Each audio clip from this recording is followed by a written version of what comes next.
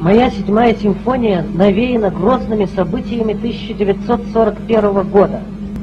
Нашей борьбе с фашизмом, нашей грядущей победе над врагом, моему родному городу Ленинграду я посвящаю это сочинение.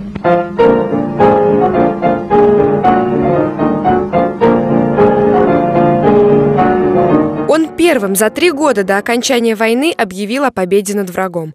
Ленинградская симфония Шостаковича «Ода доблести, чести и неустрашимости советского народа». Сочинять произведение Дмитрий Шостакович начал в Ленинграде, но блокада города фашистскими войсками помешала музыканту закончить симфонию.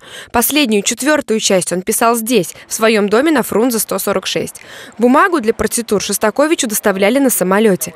В январе 41-го на нотный стан легли последние аккорды симфонии. Произведение для оркестра длительностью почти в полтора часа композитор создал меньше, чем за полгода. Улица, на которой жил и творил музыкант, с 2006 года носит имя Дмитрия Шостаковича. Этой дорогой в 1941 году Дмитрий Шостакович каждый день ходил на работу в Куйбышевский оперный театр, куда в то время была эвакуирована труппа Большого театра. Здесь со столичными музыкантами он репетировал свою легендарную Ленинградскую симфонию, премьера которой 5 марта 1942 года состоялась в этих стенах.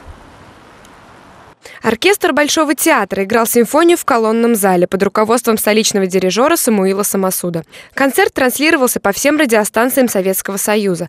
В музыке все как в жизни. Тема фашизма сначала крепнет, но потом безвозвратно разбивается величественную мелодию, олицетворяющую армию-победительницу. Вот здесь пошли наши. Наши пошли уже в наступление. Один из важнейших символов страны и города. В сознании самарцев Ленинградская симфония Шостаковича отпечаталась так же четко, как и сама Великая Отечественная война.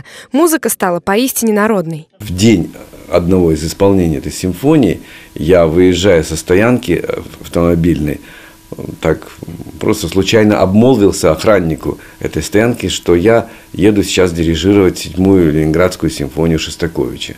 Он вдруг мне говорит, а, это та, которая там, там, та-там-пам, там, там, папа, и точно спел эту тему нашествия. Через пять месяцев, в августе 42-го, симфония прозвучала в блокадном Ленинграде. Чтобы сыграть ее, музыкантов отзывали из военных частей. В Ленинградском симфоническом оркестре тогда остались лишь 15 человек. Во время исполнения великой музыки на город не упал ни один снаряд. Вражеские точки были уничтожены заранее.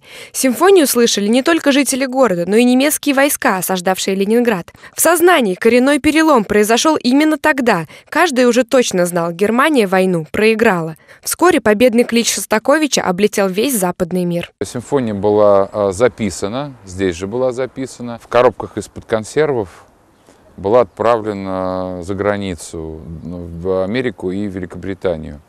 А, дело в том, что а, партитуры недостаточно, еще нужно было посмотреть, услышать, как играют музыканты наши. В Самаре седьмую симфонию не исполняли несколько лет. Музыканты планируют сыграть ее 9 мая в честь 70-летия Победы. Дирижер симфонического оркестра филармонии Михаил Щербаков уверен, величайшее произведение Шостаковича нужно исполнять каждый год. Это должно стать для Самары доброй традицией. Алина Чемерес, Константин Головин, Максим Гусев. События.